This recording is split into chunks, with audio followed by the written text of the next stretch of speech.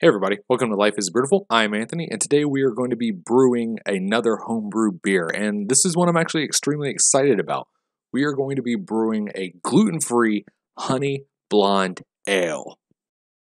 So starting off, let's get into our ingredients. Now, we can't use traditional brewing ingredients like wheat or barley, since this is a gluten free beer and those do contain gluten. So, for this beer, we're going to have to use some alternative things to make up our mash to include different cereals and different grains. For this beer in particular, we're going to use about five pounds of amaranth. We're going to be use about five pounds of millet, as well as two pounds of flaked corn and two pounds of flaked oats, which I found out is surprisingly gluten free. I didn't know that. Going into our more traditional brewing ingredients, I wanted to use a semi-neutral yeast, yet something that would still accentuate and enhance the flavors of this non-traditional grain and help elevate it to the point where we would still be able to get the expectations met out of a blonde ale. Additionally, we're going to be using about a half pound of this wild bioorganic honey. That's going to do several different things for us. One, it's going to provide that sweetened, heightened more honey flavor that we're looking for in a honey blonde ale, but it's also going to help provide some much needed sugar that it will be able to firm out and increase our ABV. Because some of these non traditional gluten free grains don't provide the same level of fermentable sugars that you would find in your more traditional ingredients, making it very necessary. The last two ingredients we're going to be using are some Sazerac hops to be able to provide a spicy yet kind of subdued hoppy flavor. And most importantly, we're going to be using some alpha amylase enzyme. This helps improve the saccharification of your mash, improving the starch to sugar conversion that we're looking for. And since I don't necessarily know how much we're actually going to be able to squeeze out of these gluten free materials, I think that this is going to be absolutely critical, absolutely necessary to be able to get at least some type of ABV out of this beer. Getting into the prep process, the last thing we have to do before we are able to start brewing is we have to prep our grain. Now, if you just dump all these in and start mashing off immediately, you are not going to come away with the best tasting beer. It's going to be very uh, cereal milkish. It's going to be kind of like oatmeal water. So you want to be able to give them a little flavor, a little characteristic. So what we're going to do is we're going to take all of these gluten-free materials. We are going to place them on a baking tray and we are going to bake them on a very, very low temperature for a Mm, undetermined amount of time. I honestly can't give you the amount of time and the exact temperature because it's all kind of ballparkish. Just set it as low as your oven will go and set five minute intervals and check on it here and there. What you're looking for is a nice golden toastiness to it, and that's really going to enhance the flavor and get it more akin to your traditional brewing malts.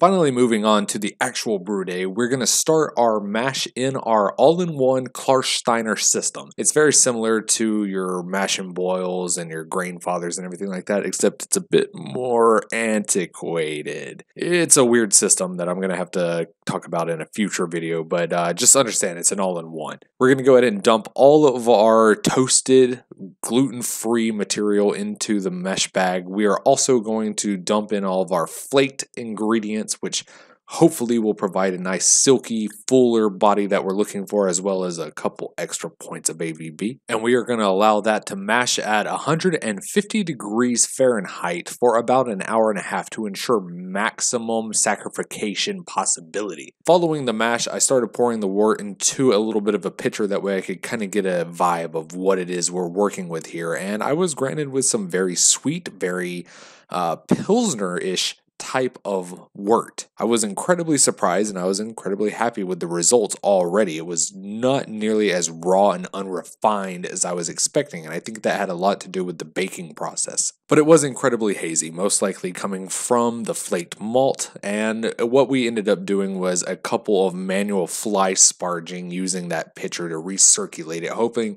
we could uh, accumulate some of those uh, hazier proteins back into the mash and hopefully clarify the product a little bit, but uh, I honestly don't think that was too successful. However, what I do think was rather successful in a sense was the actual saccharification of the mash. we did get some starch to sugar conversion, although it wasn't in the numbers I was looking for.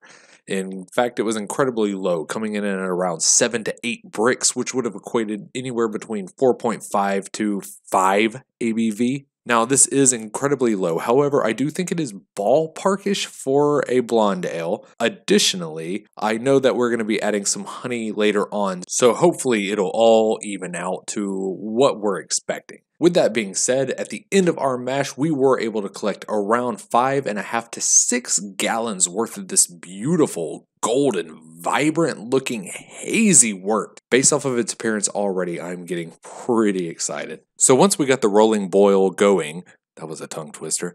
We added the Sazer hops, one ounce at 60 minutes, and that's actually going to be all the hops we add for this beer. I didn't want the hops to overpower this, and I really wanted the gluten free grains to be the showcase of this beer.